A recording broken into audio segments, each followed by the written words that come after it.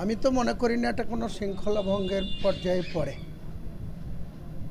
জেলা সভাপতি নিজে দ্বিচারিতা করছেন বিভিন্ন ক্ষেত্রে। ইলেকশনের আগেও করেছেন, ইলেকশন পার হয়ে গেছে। আমরা মামাটি মানুষের নেত্রী মমতা বন্দ্যোপাধ্যায়ের নেতৃত্বে মুর্শিদাবাদ জেলায় বিরাট রেজাল্ট হয়েছে। কুড়িটার ইলেকশনের মধ্যে দুটো বিজেপি আর আমরা আঠারোটা জয়লাভ করেছি। এই ক্রেডিট আমারও না, জেলার সভাপতিরও না, আর যারা এমএলএ হয়েছে তাদেরও না। এই ক্রেডিট সম্পূর্ণ মমতা ব্যানার্জির। আমরা তার নেতৃত্বে তিনি আমাদের পাঁচই মার্চ দু হাজার একুশ শুধু ঘাসফুলের প্রার্থী রূপে মনোনীত করেছিল, তাই নেত্রীর এই যে ফল হয়েছে দুশো তেরো, আরও ছটা জিতবে দুশো উনিশ। তো এটা অকল্পনীয়। কারণ এটা কারও ক্রেডিট না। পশ্চিমবাংলার মানুষ চেয়েছিল বিজেপিকে প্রত্যাখ্যান করেছে, নেত্রীর প্রতি পূর্ণ আস্থা রেখে দুশো তেরো জয়লাভ করেছে আগামী দিনের যে কোনো নির্বাচন। দু হাজার উনিশের মিউনিসিপ্যালিটি নির্বাচন একশো চব্বিশটা দু হাজার তেইশের পঞ্চায়েত নির্বাচন, আগামী দু হাজার চব্বিশের ভারতবর্ষের লোকসভা নির্বাচন, পশ্চিমবাংলায় মমতা বন্দ্যোপাধ্যায়ের বিকল্প কোনো দল থাকবে না। তো তার ওনার কি ক্রেডিট নেওয়ার ব্যাপার আছে? উনি তো খুব বড় বড় করে ক্রেডিট নিচ্ছেন, আঠারোটা পেয়েছি আঠারোটা পেয়েছি, তো ওনার কি ক্রেডিট আছে?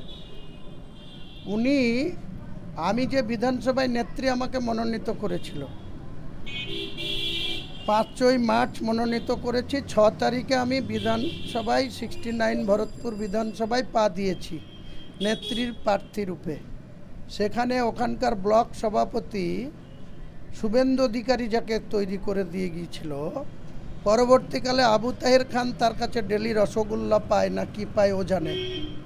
তো ডেলি তার হয়ে দালালি করে। সেটা শৃঙ্খলা ভঙ্গের মধ্যে পড়ে। সে দল বিরোধী কাজ করছে। সে ভোটে আমাকে বলছে, মমতা ব্যানার্জি আপনাকে এখানে প্রার্থী করেছে, আপনি গোহারা হেরে বাড়ি পাঠাবো।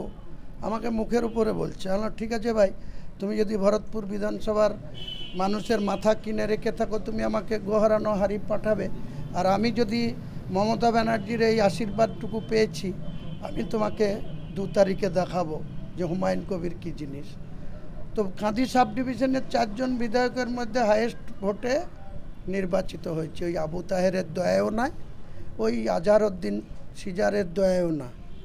নূর আলম ভরতপুর বিধানসভার ভরত ওয়ানের সভাপতি নূর আলমের দয়াও নাই।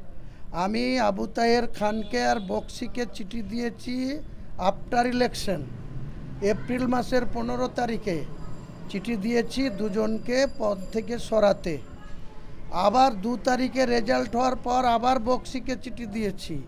আবার আবু তাহেরকে চিঠি দিয়েছি যে আজহারউদ্দিন সিজার আর নুর আলম দলের সঙ্গে বিশ্বাসঘাতকতা করেছে, কংগ্রেসের ভোট করেছে, কোথাও বিজেপির ভোট করেছে, তাকে পদ থেকে সরানো হোক।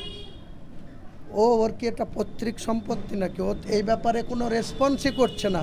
আর কি করে ওর ভাগ্নেকে শফিউজ্জামান ওরফে হাবিব নওদার ব্লক সভাপতি করে দিল পনেরো তারিখে?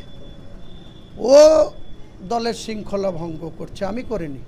আর যদি আমার শৃঙ্খলা ভঙ্গ হয়ে থাকে, তাহলে ওর যদি কিছু করার থাকে, আমার বিরুদ্ধে করবে।